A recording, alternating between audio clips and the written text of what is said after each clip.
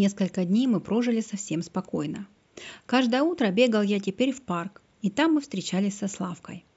Однажды в парк зашел Славкин отец, тоже худой белокурый человек с тремя шпалами в петлицах. Прищурившись, глянул он на Славкину модель ветродвигателя. Сильными пальцами, грубовато и быстро, выломала распорку, которую только что с таким трудом мы вставили на место, и уверенно заявил, что здесь должна быть не распорка, а стягивающая скрепка, иначе при работе разболтается гнездо мотора.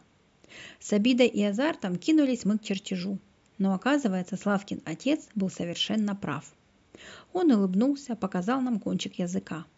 Поцеловал Славку в лоб, что меня удивило, потому что Славка был совсем не маленький, и тихонько насвистывая, быстро пошел через площадку, старательно обходя копавшихся в песке маленьких ребятишек. «Догадливый», — сказал я. Только подошел, глянул, крэк и выломал.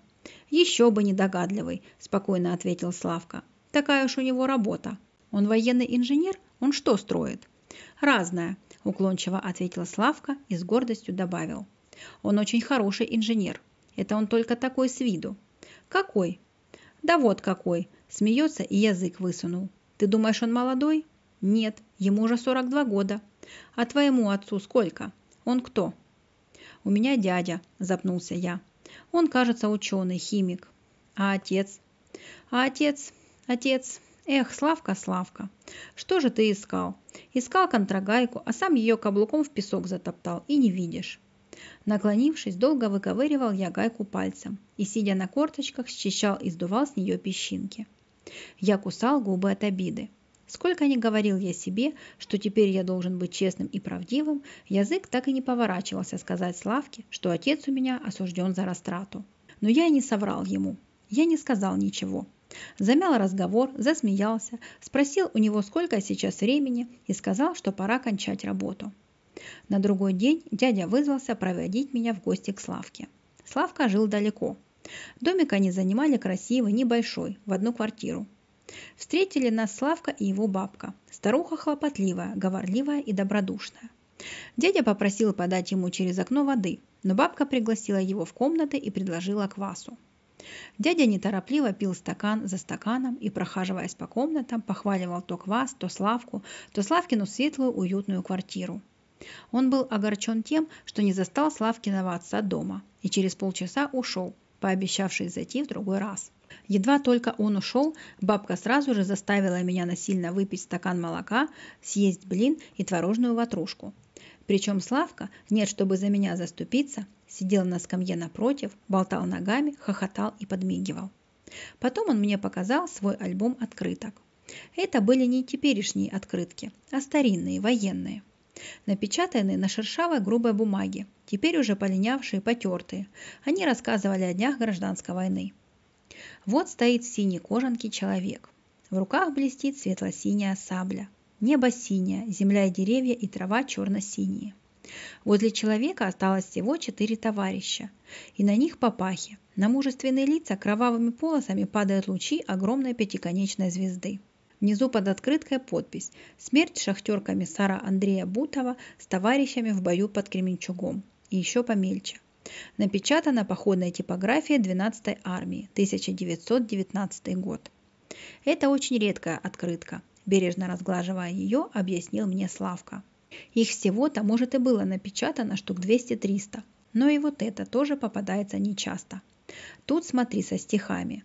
«Геи, геи, не робеи». Видишь, это красные гонят Юденича.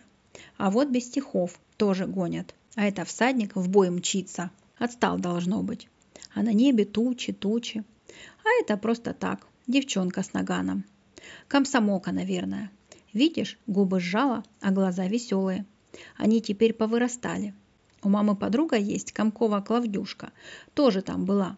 Так ей теперь уже 36, что ли. «Э, брат, погоди, погоди», – рассмеялся вдруг Славка. Закрыв ладонью альбом, он посмотрел на меня, потом опять в альбом, потом схватил со столика зеркало. А это кто? Передо мной лежала открытка, изображавшая совсем молоденького паренька, в такой же, как у меня, пилотке. У пояса его висела кобура. В руке он держал трубу. «Как кто? Сигналист. Тут так и написано». «Это ты!» – подвигая мне зеркало, обрадовался Славка. но посмотри, до чего похоже. Я еще когда тебя в первый раз увидел, на кого, думаю, он так похож? Ну, конечно, ты. Вот нос, вот и уши немного оттопырены. Возьми, сказал он, доставая из гнезда открытку.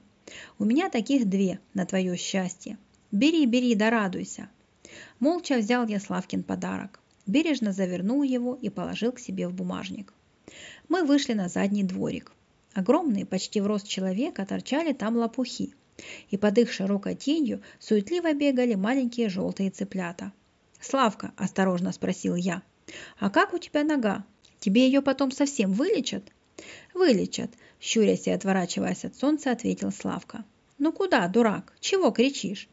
Он схватил заблудившегося цыпленка и бережно сунул его в лопухи. «Туда иди, вон твоя компания».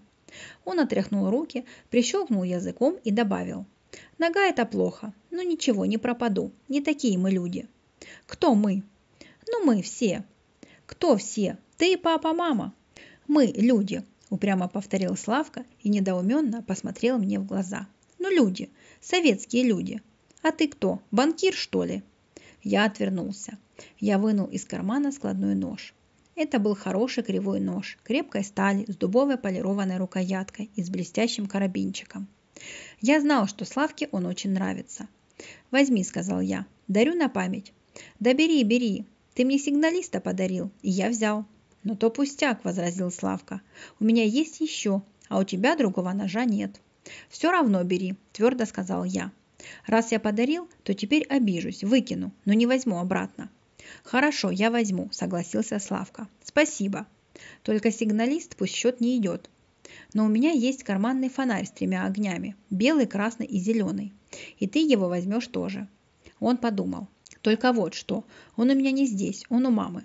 Через три дня отец отвезет меня к ней в деревню, а сам в тот же день вернется обратно.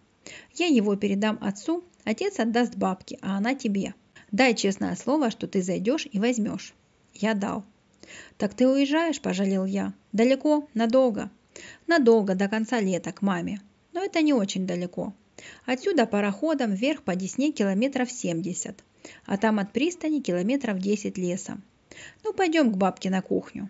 «Бабушка», – сказала Славка, тыча ей под нос блестящий кривой нож. «Вот, мне подарили. Хорош ножик, острый». «Выкинь, Славушка», – посоветовала старуха. «Куда тебе такой страшенный? Еще зарежешься». «Ты уже старая», – обиделся Славка, – «и ничего в ножах не понимаешь. Дай-ка я что-нибудь стругану. Дай хоть вот эту каталку. Ага, не даешь, значит, сама видишь, что нож хороший».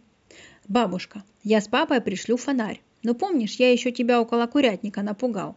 И ты его отдашь вот этому мальчику. Погляди на него. Запомнишь?» «Да запомню, запомню», – ухватив Славку белыми от муки руками, потрясла его старуха. Вот тут стойте, не уходите. Я сейчас вас кормить буду. Только не меня, испугался я. Это его, я уже кормленный. Ладно, ладно, отскакивая к двери, согласился Славка. И уже у самого порога он громко закричал. Только я гречневой каши есть не буду. Врешь, врешь, все будешь, ахнула бабка и, вытирая мокрое лицо фартухом, жалобно добавила. Кабы тебя, милый мой, с яроплана не спихнули, я бы взяла хворостину и показала, какое оно бывает, не буду. Славка проводил меня до калитки, и тут мы с ним попрощались, потому что в следующие два дня он должен был принимать в клинике какие-то ванны и на площадку прийти не обещался.